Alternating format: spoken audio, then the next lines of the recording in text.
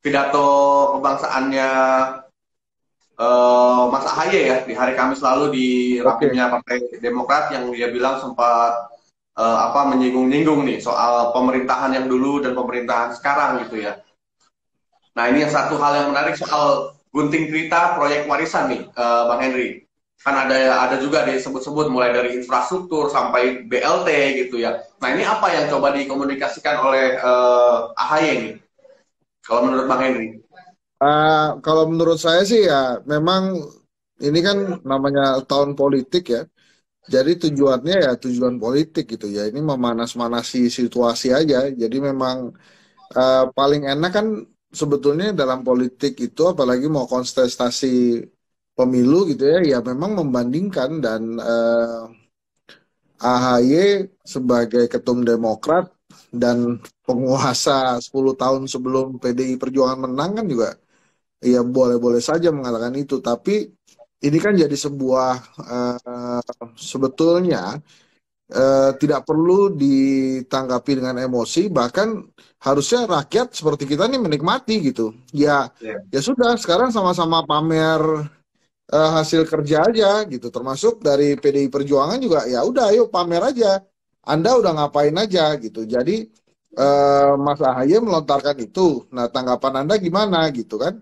Uh, ya kita sebetulnya tinggal menyaksikan aja apa, tarung ide ini. Ini kan tarung ide kan pamer-pamer uh, apa hasil kerja gitu ya. Jadi menurut saya sih bagus-bagus aja nih uh, Mas Firdaus. Bahkan Berarti menurut saya ya, ya. ada. Bahkan menurut saya harusnya rakyat nih memfasilitasi itu.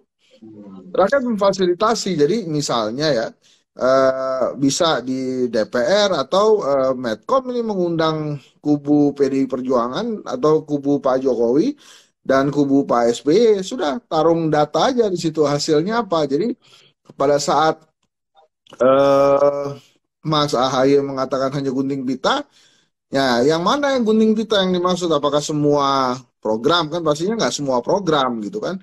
Nah Nah, terus bagaimana tanggapan dari Pak Jokowi dengan itu? Kalau menurut saya sih eh, nggak uh, ada yang aneh dan wajar saja. Nanti ya, misalnya, misalnya uh, kita punya presiden baru, siapa Anies Baswedan atau Puan Maharani, pendukungnya Pak Jokowi juga sah-sah aja mengatakan itu. Nah, ini sekarang aja di Jakarta kan, Pak apa Mas Anies uh, menyelesaikan apa misalnya kayak kemarin bangun JIS itu kan uh, pendukungnya Pak Ahok dan Pak Jokowi bilang, nah itu hanya meneruskan kerja-kerjanya Pak Jokowi itu. Ya, ya, ya. ya nggak apa-apa juga itu kan koordinasi ah, bukan koordinasi ya itu kok sebuah kompetisi gagasan.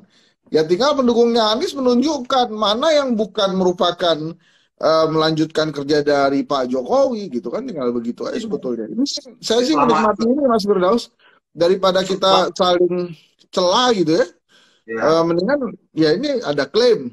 Terus yang nggak terima klaim itu tunjukkan lagi buktinya gitu. Oh. Misalnya enggak kita dari awal nih buktinya ini blueprintnya ada misalnya itu kan seru juga jadinya.